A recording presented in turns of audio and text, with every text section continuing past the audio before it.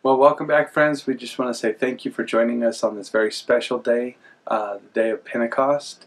Um, as we get ourselves ready uh, for the word of the Lord, I want to encourage you. Let's take a moment to just pray and seek God's uh, His face and His will, His ways, His anointing. And so let's let's take a moment and do that now. Father, I thank you for this day, and I thank you for the opportunity that we have to uh, share and to speak into each other's lives. Father, I pray that you would lead us and guide us during this time. Father, I pray that your glory would be revealed in us and through us into the world around us. Lord God, we love you and we praise you and we seek your face. We say these things in the precious and holy name of Jesus, the name above every name. In Jesus' name we pray. Amen. Well, guys, this is uh, this is week 11 uh, with our COVID 19 uh, adventure. And I'm sure by now it's kind of um, old news, old hat, and we're kind of tired of it, kind of ready to go uh, explore, get back to life, uh, go on a, uh, other adventures. Uh, maybe do some camping trips, things like that, as the uh, summer months are upon us and the heat is turned up and uh, yeah, fans are on, air conditioners are working, all that good stuff. Well, um, this this historically, the day of Pentecost has been a very, very special day and a sacred day to the church. And I want to to help us kind of understand that and to help understand its significance. Um, what is the day of Pentecost? I had some people ask me that uh, this past week as I said, hey, this next Sunday is going to be Pentecost. Uh, people are like, okay, well, what is Pentecost? What does that mean? Uh, to kind of help us understand that, it's like, uh, let me ask you, have you have you ever celebrated a birthday for either yourself or for a loved one? And how, how important is that birthday?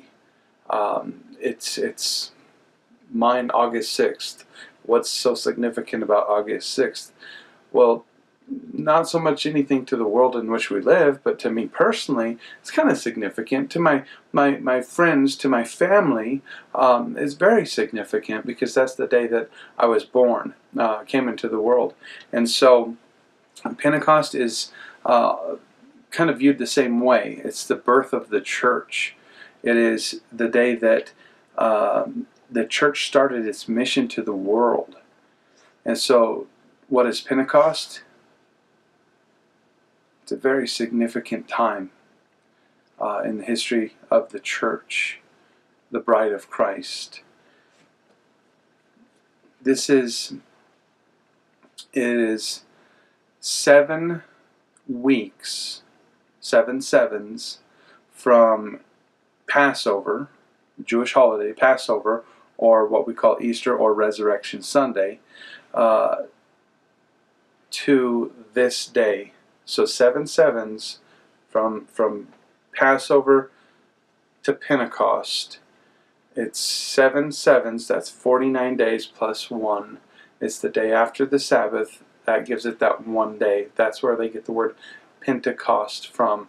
We use the word uh, pentagram, um, a five point star. We use the word Pentagon, the, the building back in Washington, D.C. Um, in Maryland, and we're somewhat familiar with that, but it means five. In this case, 50. It's it's representing 50 days, and 50 days of what? Of celebration? No, no, no, no.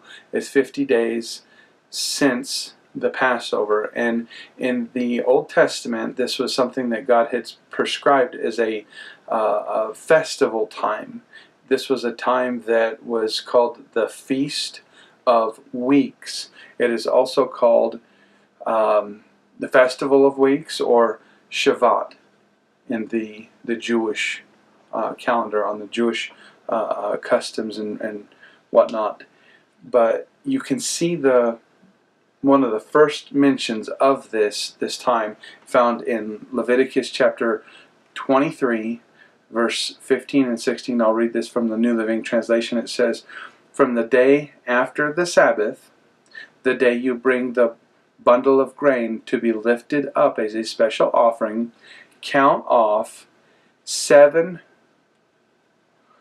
seven full weeks. Keep counting until the day after the seventh Sabbath, 50 days later. Then present an offering of new grain to the Lord. So this is again in Leviticus chapter 23, kind of setting the uh, the context. God is uh, through through Moses, he is commanding the children of Israel, the nation of Israel, to uh, set aside certain feast days, festival times during the course of the year. And Passover is a very big deal. But so was seven sevens later, the Festival of Weeks, Shavuot, or what we call Pentecost. It was very significant and sacred, and this is very important because this is something that God had established on, on His calendar, on His timeline. And He He asked He told the children of Israel, you need to celebrate during this time. And he's putting, he's ingraining into their culture something very significant. So, but as we fast forward to um, to the time of Christ, what is this day? The day of Pentecost again in the New Testament. What is what is that about? Uh, well, in a nutshell, this is the day that the Holy Spirit of God descended from heaven and filled the disciples and the believers who were gathered together in Jerusalem. And it was about 10 days after uh, Jesus ascended up into heaven. Uh, and why is this why is this significant? This the Holy Spirit coming down and filling the believers. Why is this significant? Well, for a whole lot of reasons. First of all, it's because it fulfilled Jesus' promise. Uh, Jesus even says it fulfills the promise of the Father.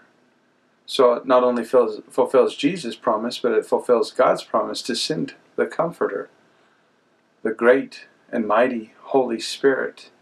Um, that is that is the supernatural equipping, empowering that would help the church be empowered to do the task that Jesus had left for it. That is the evangelism of the world. To, to really understand the significance and importance of this, I would ask you to consider the condition that the first disciples were in after the resurrection and leading up to the ascension. Um, if you stop and consider where these, where the disciples, okay, they just in you know went through the whole the, the, the, cross the crucifixion they saw jesus die they saw him uh, be buried and then three days later he comes back to life okay that's a very very powerful thing but they they went about their life almost from the time of the resurrection um, uh, you know, up until the point of the ascension, they kind of went back to what do we do with our lives? I know, we'll just go back to our lives.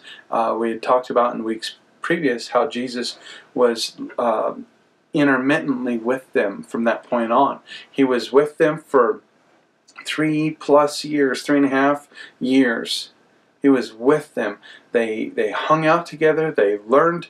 They you know the disciples learned together. They excuse me, they ministered together. They um, they walked with Jesus on a daily basis, on a consistent basis. They took takeout together. Come on, guys. Uh, ordered from the same restaurant, whatever the case was. Um, people say, well, what kind of car would Jesus would have driven, you know, back in the day? Well, some people say, well, he, he would have been a biker, you know.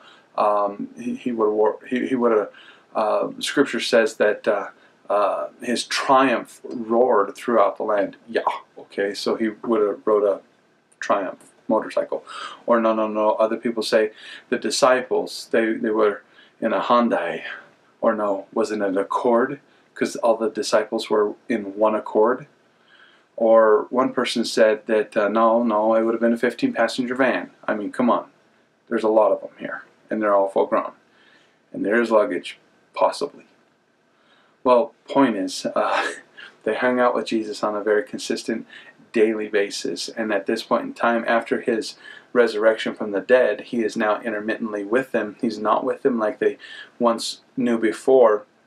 Their lives have changed, their world has changed, their worldview has changed, but they're still struggling as to what they're going to do in life. Where do they go from here? and it's during this time frame that Jesus had some very specific and special instructions for them. And we're going to read about that here in just a moment. But as they are learning together and growing together, and as powerful as the, the resurrection was, okay, as powerful as the resurrection was, it did not empower them. Okay? We're going to look at that, and I, I, would ask you to stop and consider this as Jesus is telling the guys, uh, telling his followers, men and women, he's telling them all. Um, there is more for you. I have a plan I need you to execute, and you're not going to do this alone. I'm going to send the great and mighty Holy Spirit, and He's going to help you. Uh, let's look at this in Acts chapter 1, okay? Let's see what the scriptures actually have to say about this. In Acts chapter 1, starting with verse 1, I will read out of the uh, New King James Version. It says, The former account I made, O Theophilus, of all that Jesus began to do and teach until the day in which he was taken up, and until the day that in which he was taken up. After he through the Holy Spirit had given commandments to the apostles whom he had chosen, to whom he also presented himself alive after his suffering by many infallible proofs, being seen by them for forty days, and speaking of the things pertaining to the kingdom of God.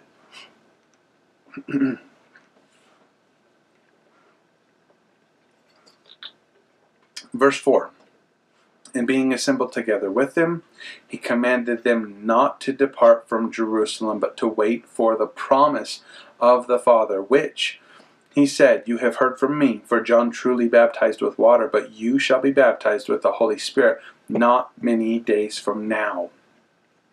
Therefore, when they had come together, they asked him, saying, Lord, will you at this time restore the kingdom to Israel? And he said to them, It is not for it is not for you to know the times or the seasons which the Father has put in his own authority, but you shall receive power when the Holy Spirit has come upon you, and you shall be witnesses to me in Jerusalem and in all Judea and Samaria and to the end of the world, or excuse me, to the end of the earth. Verse 9. Now, when he had spoken these things, while they watched. I want to say real quick, guys, this passage is so, so packed with so many wonderful, wonderful implications and meanings. Okay, uh, for instance, I remember when I was going to school at Rhema, uh, uh, the incoming dean, his name was Gary Crowell, he preached a message on uh, this verse. It says in verse 4, being assembled together with them, he commanded them. In other words, this is not a suggestion. This is not a strong urgence. This is not a recommendation. The Bible says that Jesus commanded his disciples. It's one of those do not leave home without the Holy Spirit. Okay? So that's a very, very powerful uh, uh, word right here in just in just that. Um, other things to stop and consider as he's speaking to his disciples about the incoming power of the Holy Spirit, power to be a witness and to, to, to testify about him. They're asking questions like, "Hey, tell us, you know, about the end times. Is this is this it? Where we at? Uh, you know, eschatologically speaking, um, you know, what's the timeline looking like? Is this the time you're going to be restoring your kingdom to Israel, or or what what what have we got going on?" And Jesus is like, "Time out, guys. Time out." It's not about the times and the seasons right now, okay? Your job, the message that I have for you, the job that I have for you, the opportunities that I, that, I have for you, you're going to be empowered by the Holy Spirit, the same Holy Spirit. Not an inferior Holy Spirit, not a different Holy Spirit. The same Holy Spirit that empowered me to do the job that I did He's going to be on you and in you and with you. Don't get caught up about end times. Don't get caught up with, oh my goodness, is this the end? Don't get caught up with that. The Father knows what He's doing. Trust in Him. But you, on the other hand, get to work. Okay? Matter of fact, He says, don't get to work until you're, you're endued with this power from on high. Okay?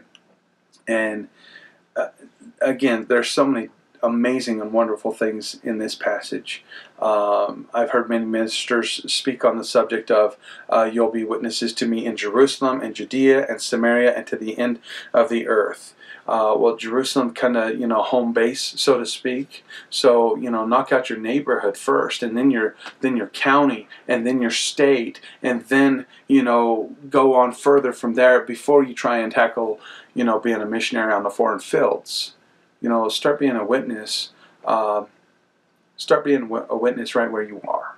Start being a witness to me, to Jesus, um, in your own backyard, to your own neighbors, to your own community. Be a witness to me, of me, to them. Start. Don't don't have grandiose ideas. Well, I'll go to the other side of the world and I'll knock the thing. Uh, you know, I'll hit a home run and then I'll come back and I got this all figured out. Again, guys, wonderful things pulled from this passage. But what we're looking at right now, um, the whole ball of wax, we're looking at the day of Pentecost, what this day means, what it means to us, what it means to us right now, this day.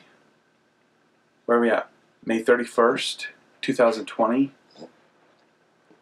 What does Pentecost look like today? What does it mean today? How powerful it is, how significant it is, how absolutely necessary it is. So, I love this. Let's uh, let's keep reading. It says, uh, verse nine. Now, when he had said these things, when Jesus had said these things, while they watched, he was taken up, and a cloud received him out of their sight. And while they looked steadfastly toward heaven as he went up, behold, two men stood by them in white apparel, and said to them, This is two angels, and said to them, Men of Galilee, why do you stand gazing up into heaven? This same Jesus who was taken taken up from you into heaven will also come in like manner as you saw him go into heaven.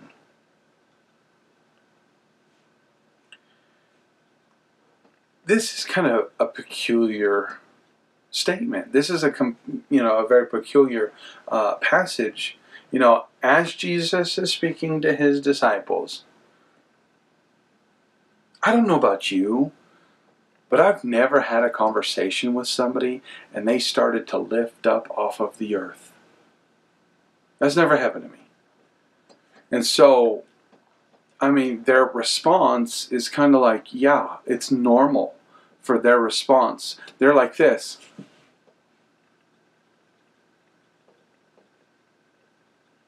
And these angels are coming and going, guys, your gob is open.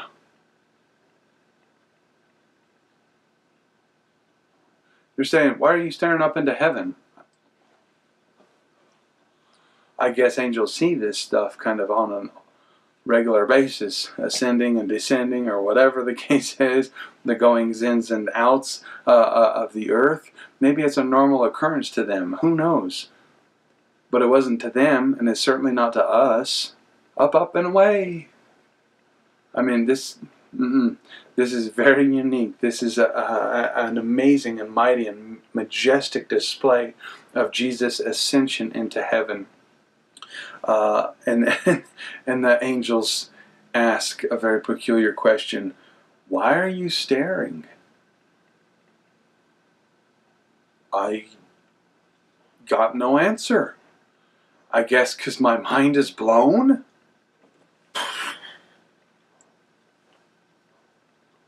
You know, I, I don't know. I'd stare too. Well, I love what uh, Jerry Cook his little take on this.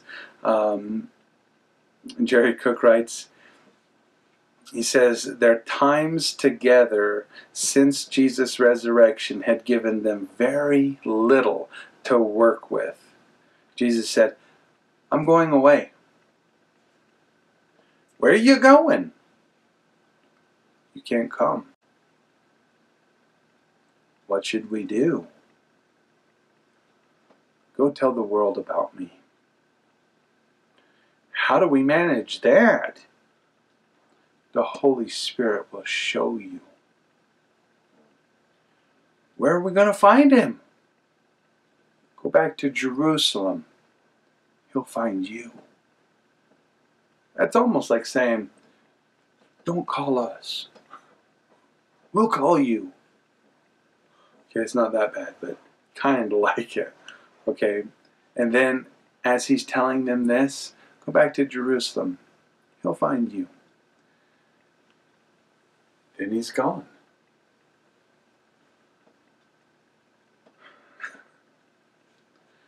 The thing is, guys, why did Jesus leave? This had to be running through the minds of the disciples. You, you got to understand. The scripture says in this passage, uh, Acts chapter 1, that Jesus, he, from his resurrection, which we know Easter Sunday, Resurrection Sunday, okay, this is uh, right on the coattails of, of the Passover. He hung out with them for 40 days intermittently. He would appear, then disappear. You could read about this in the last chapters of John, um, where he, you know, showed up. They're out there fishing. And he says, Children, have you got any fish? Uh, no, we'll catch your net on the other side. And they did, and wow, a lot of fish. Um, another miracle. And then, oh, hey, it's the Lord. And, and Peter jumps in, throws his clothes on, jumps in, and then you know swims up to shore and hey, how you doing?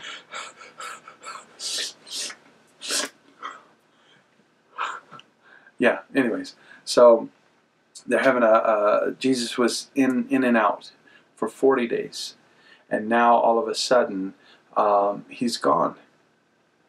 He's gone. He ascends. This is glorious. He ascends to heaven. This is powerful. This is impactful. But they got to be asking the question, why is he leaving? Why does he why is he leaving us? He tells them, we read about this in, in Matthew, uh, in the Great Commission, and in Mark. Um, I'm not leaving you orphans. I'm not leaving you orphans. I am with you until the end of the age. And that's through the agency of the Holy Spirit. That's what we're going to look at today uh, through the agency of the Holy Spirit, through the empowering and the equipping of the Holy Spirit, through the presence of the Holy Spirit. Now, this is very important. Why did Jesus leave? It's because, honestly, guys, Jesus is not trying to multiply his followers. Now, hold on. Did you just hear what I said? Jesus is not trying to multiply his followers. He is trying, he is wanting to multiply himself through his followers. Why did Jesus leave? Because if Jesus stayed, stayed, there would be only one. But when he left and the Holy Spirit came, he now can. God's plan of redemption was that as new creations in Christ, as we are, as it says in John chapter 3, we are born again, born anew. First Corinthians talks about being a new creation in Christ. God's plan has always been not to come and dwell with us. Hi, how you doing? I'm good. How are you doing? I'm great now that you're here. That was not his plan. It was not to be with us, but to be in us. There's a passage in the scriptures that says, Christ in me, the hope of glory. Why did Jesus leave? So that he wouldn't just be with the disciples, with the believers, with the church, with me and you, but through the agency of the Holy Spirit, He could be in the disciples. He could be in the believers. He could be in the church. He could be in me and you. This is again pointing to the significance of the day of Pentecost. As powerful, again, as his resurrection was, it did not empower. The disciples, they saw the risen Lord, but they still cowered in fear behind locked doors. Jesus is essentially telling them, "Hey, I'm going to leave here in just a just a minute, up, up, and away, and you're going to stay and you're going to be a witness to me. The Holy Spirit's going to come and He's going to, you know, empower you to go and be a witness to me. And you're going to start in Jerusalem. Oh, by the way, that's the city that just killed me, Jesus. And they blamed you for stealing my body to cover up my resurrection. I want you to start there. Yeah, not easy. How are you going to do that? Uh, we're going to start with a locked door. We're going to start with a prayer closet. That was not the plan of God. The plan of God was that they start with tongues of fire. They start boldly and loudly declaring the wonderful works of God. That was his his plan. So again, guys, what is this? As we, as we keep unfolding this this Pentecost, the day of Pentecost, what it means to us, what it means to you, what it means to me. Um, what is this?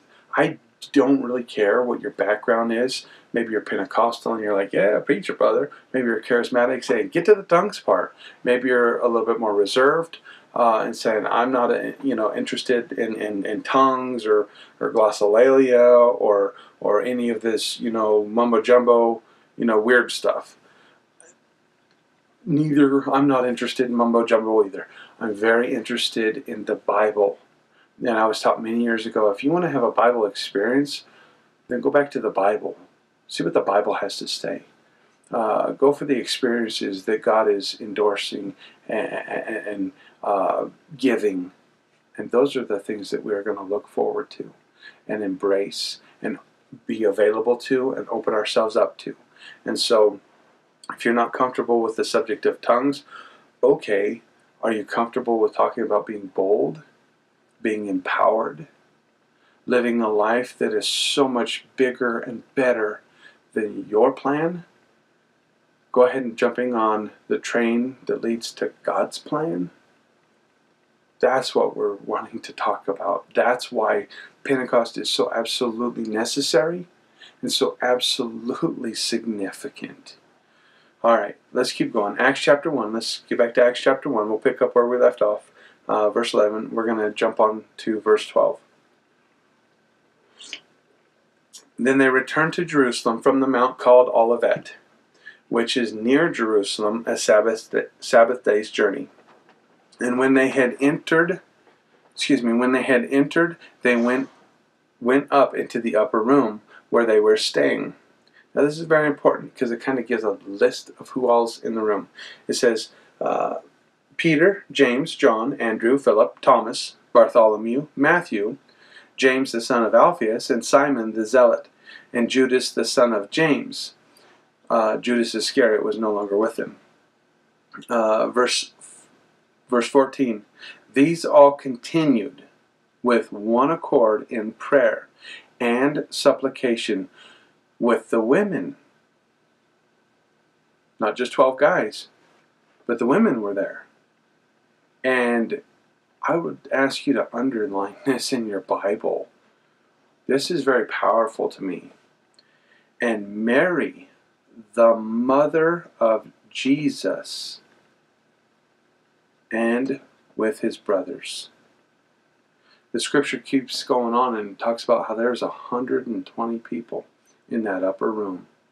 And that's significant to me because that was all of the disciples that were there. Uh, this passage goes on, you know, Peter stands up says, Hey guys, uh, Judas Iscariot is no longer with us. Um, you know, I believe that the, uh, the scripture says, uh, let's, let's, you know, find somebody to take his place. Um, somebody that's been with us since Jesus' baptism at the Jordan River, uh, all the way, you know, through through till now and and they they selected uh, two candidates. Um, not by popular vote, but by seeking the Lord, they decided, hey, this is the guy. The scripture goes on to say there was 120 people there with him in the upper room. But this is important because it's the 12 disciples and then the women that, that continued in the ministry to help them. But Jesus' own mama was there. Now, this becomes very significant when you turn the page and you read the very next chapter because it's talking about the exact same people. Now, get this. Um, yeah, I'll get just a moment. I'll come back to that thought. Acts chapter 2, starting with verse 1. We're going to read 1 through 4. New King James. It says, When the day of Pentecost had fully come. Something about that phrase only I believe is very significant and very special. When the day of Pentecost had fully come. Why does that verse stand out to me? I believe it's because God knew back when he told Moses 1500 years ago or previous to this so now 3500 years from from us back to then or whatever the case may be. If my math is wrong, don't write me a letter. Point is, okay, um, God knew clear back then this day and this Pentecost, Acts chapter 2, verse uh, 1, is a very significant one, somewhat unique. In all the years leading up to it, this one took on whole new meaning and, and it says, when the day of Pentecost had fully come. In other words, God was so stacking this thing up, getting everything ready. It's polished, it's ready. And now it's here. It says, when the day of Pentecost had fully come, they, they who? The 120, the disciples, the women that were in the ministry, uh, helping um, Mary, Jesus' own mama, and his brothers. His brothers were there. They were all with one accord in one place. And suddenly there came a sound from heaven as of a rushing, mighty wind, and it filled the whole house where they were sitting. Then there appeared to them divided tongues as of fire, and one sat upon each of them. And they were all, all, all, and in the Greek, all means all.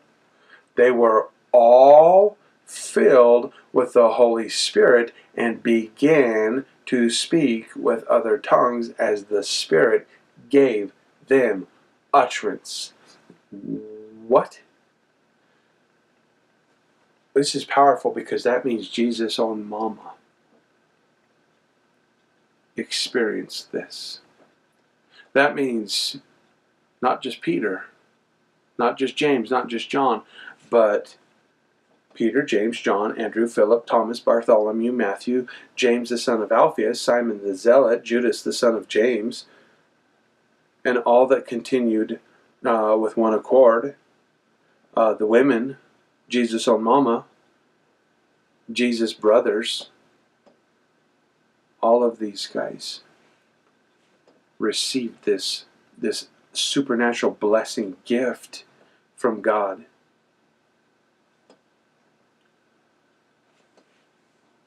This is viewed by most theologians that I'm aware of.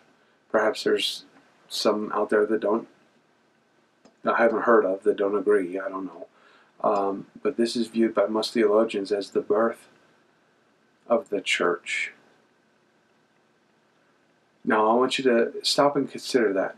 If that is correct, which I believe that it is, if that is correct, then the birth of the church, what happened? Jesus, or excuse me, God poured out His Spirit, the same Spirit that was upon Jesus. He poured it out during the most vulnerable but intimate and delicate time on the bride, the church. And what happened? Tongues. If tongues were such a obnoxious nuisance, then why did God do it on the birth day of the bride of Christ? I don't have an answer unless it's not a nuisance, but it's an empowerment. You shall be endued with power from on high when the Holy Spirit comes upon you. You'll be my witnesses to the end of the earth, starting at home, going out from there. It's a blessed thing, it's a wonderful thing. But look what else happens. They moved. Get this, guys. Why were they in the upper room? They weren't just up there trying to have a church service or some kind of meeting. They were up there because they were locking away themselves for fear of the, the leaders. Hear me now. This is where it parks itself right in our business. Because of fear of the leaders, they didn't agree with them. They were afraid of them. They felt like the leaders were out to get them, and in this case, they truly were out to get them. But they were also cowering because of the civil authorities, not just the spiritual leaders, but the civil authorities. And remember, uh, the scribes and the Pharisees were the chief uh, uh, driving factors, um, the, the spiritual leaders that crucified Jesus, but it was the Romans who did this as well. And so you have to stop and understand that the 120 were behind closed doors. And there was a lot of fear in the room. And this is during a time which should have been a celebration but they weren't celebrating. They were praying. They were in harmony. They were in unity, in one accord. But they weren't bold. They weren't living life boldly. They were living life in fear and timidity. But then, as soon as the Holy Spirit came, that empowerment, that gift, it changed everything. It is my firm conviction and belief that right now the world, the world in which you and I live, desperately needs another outpouring on the day of Pentecost. An outpouring so grand, so great, that it moves the believers out of fear and into faith, out of timidity and into boldness. Right now, our world is literally trying to tear itself apart. Literally. My wife, Pastor Kelly, just told me that Salt Lake City, right now, has a mandatory curfew in place. Uh, what what is the time from 8 p.m. Curfew's at 8 p.m. and this is going to last until Monday. Curfew's at 8 p.m. and it lasts till Monday. Why? Because all across our country, all across our, our cities and nation right now, there are riots being uh, taking place, um, starting in um, an injustice done in uh, Minnesota. It was right where a police officer brutally killed a uh, a man in, in in handcuffs. And I don't, you know, don't please don't Please do, please do not misunderstand me. I am not okay with that. But a lot of people have decided that the police are the problems. A lot of people right now, because of this COVID lockdown, have had enough, and they're saying the governors, the the, the ruling authorities, uh, those crazy Democrats or those radical, stupid Republicans or whatever, the politicals, are, it's just tearing itself apart right now. In, in Utah alone, there were, what was it, two cars? Two car fires? People caught cars on fire. There was looting of businesses. There was um, people being interviewed on the news with uh, AR-15 and, and handguns all down the way, fully loaded, saying, I'm ready for the trouble. Like, are you kidding me? I just came back from uh, seeing Pastor Rob, uh, our district supervisor up north, and he was called in. Um, a day or two ago, he was just called in because a policeman was responding to a uh, what is it called? Domestic, domestic violence. Uh, a policeman was responding to a de- domestic violence re- report, and several police showed up, and this officer, 24 years old, 24 years old, Officer Nate, who had only been on the force in Ogden 15 months, was shot in the head and killed. And Pastor Rob went as the as the, the police chaplain to go and pray with the police officers the men who are literally serving, who are endeavoring to keep the peace. This was a domestic violence. And, and this guy shot and killed this officer, and then he shot another officer, uh, shot up, and, and what is going on? Guys, we desperately need Jesus. We desperately need His empowerment to live boldly. When I'm talking about boldly, I'm not talking about arrogantly, flamboyantly, in your face, and obnoxiously. That is not the ways of God. When I'm talking about boldly, I'm talking about doing the things that Jesus did, living the way that He called to live. He said that His disciples would be marked and known by to the world by their love, love for one another, not their ability to stand up and say, This is unconstitutional, or their ability to, to, to, to form a march against our civil authorities. Oh, by the way, the scriptures are very clear. We're, we're to sub, uh, submit ourselves and to pray for our governors, to, to pray for our leaders, our rulers. Our, well, we don't have a king, but we do have a president we are called by God to pray for them. Funny thing is, they are calling on us right now to pray for them, to pray for them, to pray that God would give them wisdom and insight and understanding and how to rule in a very chaotic time. I would not wish to be them. I absolutely, I, whew, to be them. God bless them. We need their help. We need their leadership.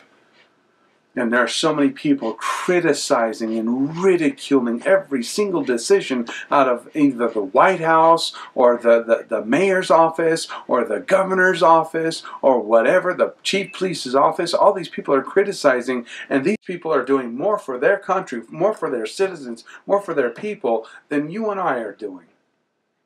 So we need to get behind them and we need to encourage them. We need to cheerlead them. We need to uh, just, just, hey, we're praying for you guys. We're praying for you guys. And why would we do that? That's living boldly in a world that is just crazy. We need the Holy Spirit power and fire inside of us so that we can go out there and live the life that God has called us to live. Funny thing is uh, about Jesus, I never, I, I've never read a Bible. I've read the entire scriptures several times, multiple times. Some of them hundreds of times, some passages hundreds of times, and I have never even heard of the idea that Jesus started a riot or that Jesus cast a stone. Matter of fact, there's an opportunity, a golden opportunity, that Jesus was called upon to cast the first stone. And he says, No, you without sin cast the first stone. In other words, the only one here qualified to be the rightful judge, a right judge, a righteous judge, is me. And I'm not here to throw stones, I'm here to save this world. Christians, if we're to look and to act like and to be empowered like our Creator, our, our, our Messiah, our Savior, Jesus, then why aren't we doing that?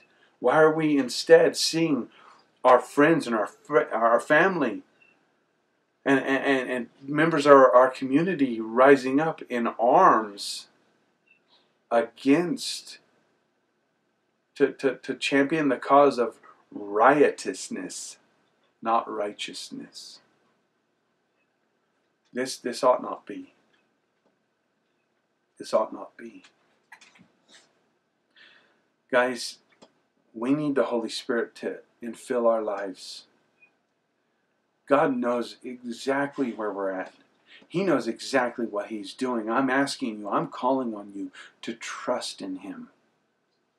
He has never failed us, not one time. Can we trust Him?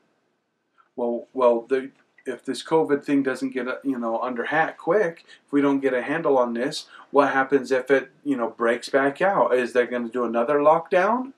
Well, I'm not going to have it. I'm not going to stand for it. I'm not going to let them tell me I can't go to work. What about the pick up your cross? How about die to yourself daily? We have literally no idea what persecution is. You want to know what persecution is? There's an amazing book called Tortured for Christ, put out by uh, people who who who are martyrs for Christ, uh, people who are aware of these stories to try and show us that people are literally dying because they're not fighting. They're dying because they're turning the other cheek. They're dying because they're walking in love. Funny thing about sheep sheep aren't, for the most part, sheep, lambs, they're not aggressive. I've never had a sheep run up to me and hit me with its little head try and knock me over or tell me who's boss. I've never had that. Ha- I have had that with goats. I've had that on numerous occasions, uh, occasions being around goats, but I've never had that around sheep. I was talking to uh, another pastor in the area, uh, Pastor Kevin Jensen, and he said something to me um, that was just it, it was mind blowing. Uh, I I've never heard this before. He said something funny about sheep is they will they will imitate or mirror the characteristic of their shepherd. And I'm like, huh?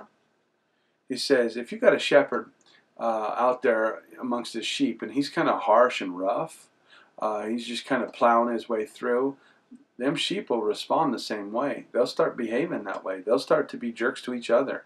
They start, you know, shoving and fighting and and and whatnot. Um, and, and the shepherd gets to a point where he can't even walk through his sheep because they're just obnoxious. He says, But when you got another shepherd and he's kind to the sheep, he's soft spoken, he's responsive to them, they're responsive to him. And they start to respond the same way. Well, guys, we're the sheep of our great shepherd, the Lord Jesus Christ. How are we responding? Is our characteristics mirroring his characteristics? Pardon the question. Jesus said something very profound. This is just as much for today as it has ever been at any point in time in history. Jesus said, Matthew chapter 10, verse 16, Behold, I send you out as sheep in the midst of wolves.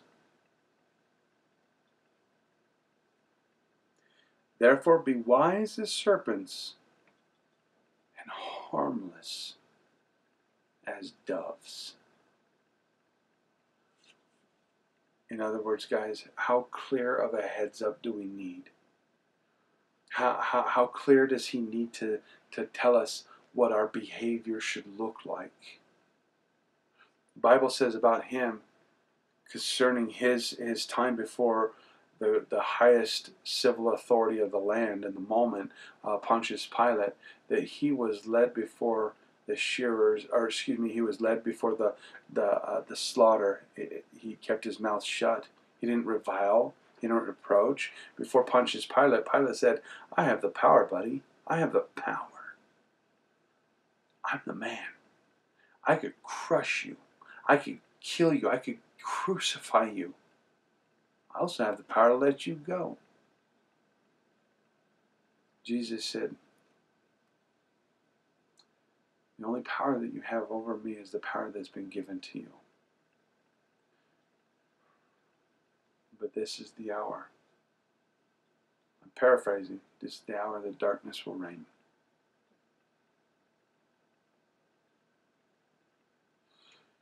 Jesus did this by the power of the Holy Spirit. If Jesus was able to keep his cool when darkness was reigning, how much more do we need the day of Pentecost to fill us up with the same Holy Spirit so that we can maintain ourselves in our current conditions? The message of Pentecost is absolutely for today. The message of Pentecost is the same that he told the disciples don't leave home without this. This is so special. This is so sacred my mama's going to be a tongue talking Jew. She's going to be filled with the same spirit of the living God that's in me. It's going to be in her. In her. Filling her. Transforming her. Peter and James and John and the boys, my followers, my believers, all of my disciples. That day, as the day progressed, scores, thousands came to Christ. Was it 3,000 came to Christ that day? 2,000, I believe it was 3,000 came to Christ that day.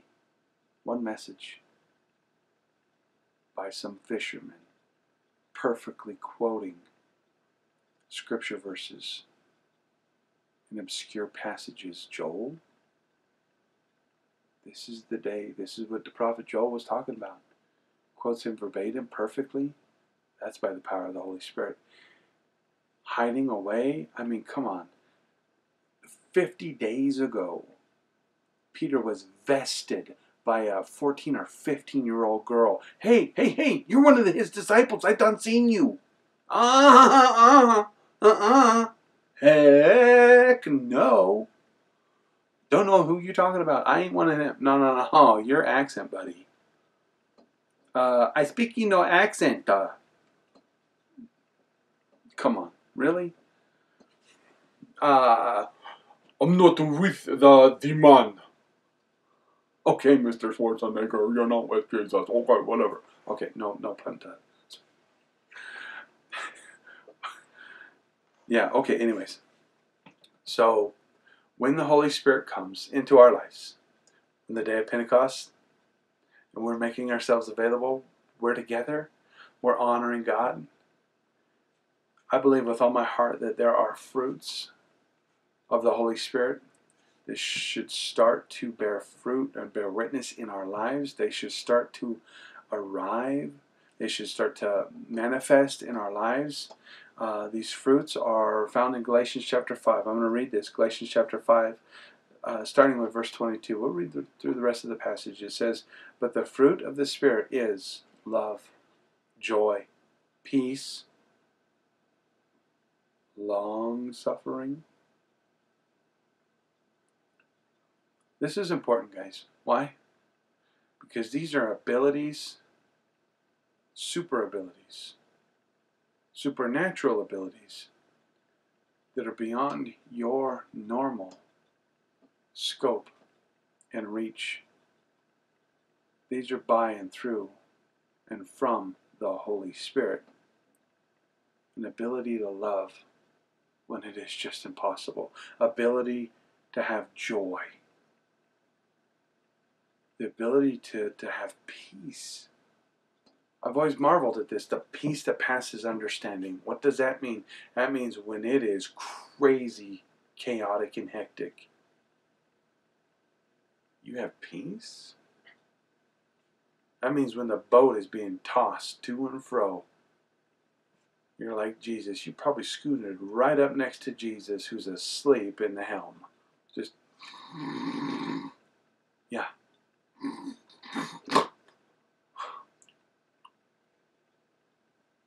It's peace. Long suffering, God knows we need this. Kindness, when was the last time you were kind? I hope often. Goodness, faithfulness, gentleness, gentleness, self control. This verse goes on to say, against such things there is no law. Those who are Christ's have crucified the flesh with its passions and desires. Verse 25 If we live in the Spirit, let us also walk in the Spirit. Let us not become conceited, provoking one another or envying one another. In other words, guys, stop fleshing out.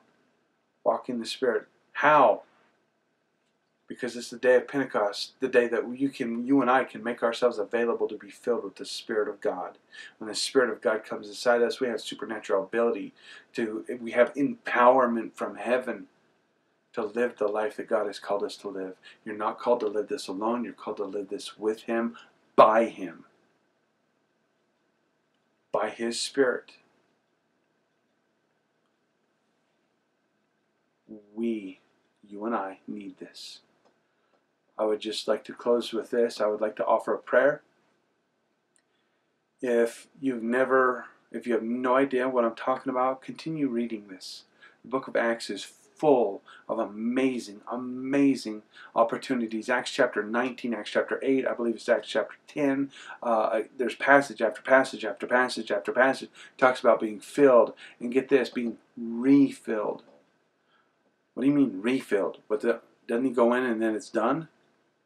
You know, once filled, always filled? No, it's like, you know, I filled my car with gas. You use it and it gets empty you got to go refill. Well, same as with the Christian life. You you you you get filled up, and then you go out and walk it out, and you find yourself a quart low. So you've got to get refilled. How do you know you're a quart low? When you start to get irritable, when you start to get snappy, when you start to consider riots or entertaining ideas of um, well, I'm justly justified in my perceived wrongdoing that was done to me, so I'm angry and I'm considering lashing out. Mm, court low. Court low. I would just say, go ahead and, and, and, and, okay, Lord, I want this. I want to be filled. I want to be refilled. I want you and you only, God. I want everything that you have for me. What does that look like? It looks like this. Father, right now I ask that you would fill me with your Holy Spirit. This is a very, very precious day and a very, very significant day. God, this was the day that you gave birth to the church by the entrance of your Holy Spirit.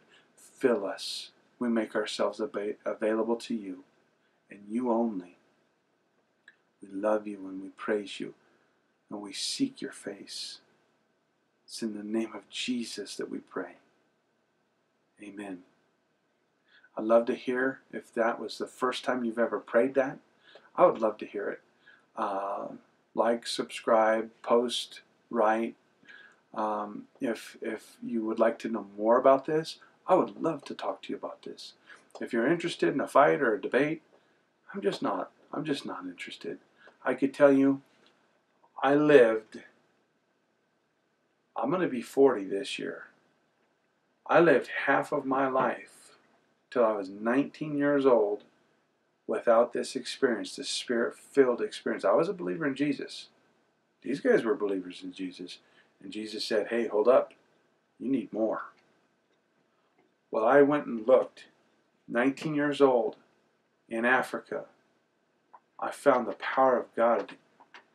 I encountered this spirit filled experience. And I could tell you half of my life without it and half of my life with it. Oh, it's way better here. The half with it. If you want to if you want to know more about this, yeah, talk to me. Love to talk to you about this. Um, or just read the scriptures yourself. The book of Acts, the entire book is full of this. Romans chapter 8, the book of Jude, it mentions this. Uh, beloved, building yourselves up on your most holy faith, praying in the Spirit. Uh, 1 Corinthians chapter uh, 14, Paul the apostle says, I thank God I pray in tongues more than you all. I mean, how much more validation do we need? He says, you know, do not forbid speaking in tongues. How much more validation? Oh, I know. Mark chapter 16, the Great Commission, Jesus said, and they will speak with new tongues. I mean, if Jesus is giving it a thumbs up, Peter, James, John, all the disciples, Apostle Paul saying, Yeah, baby. Mother, uh, Mary, the mother of Jesus, is like, Whew, this is good stuff. Then why aren't we? Oh, I know, because it's weird. We'll unpack that another time. For now, embrace this day, embrace the meaning of it, embrace the significance, and embrace the fact that we absolutely need this in our world right now. Embrace the fact that, that God wants to do things in us, for us, and through us. Love you guys. God bless you. Have a wonderful rest of your day.